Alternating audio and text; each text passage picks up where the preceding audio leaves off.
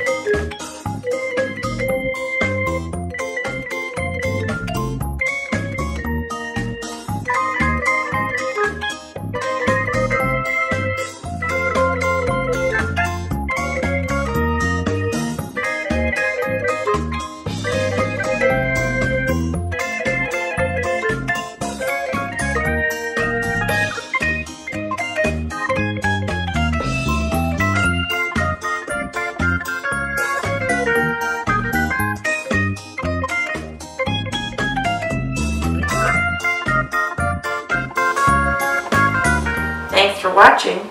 The puzzle took me 2 hours and 25 minutes. Here's the end result. And I even have one extra piece.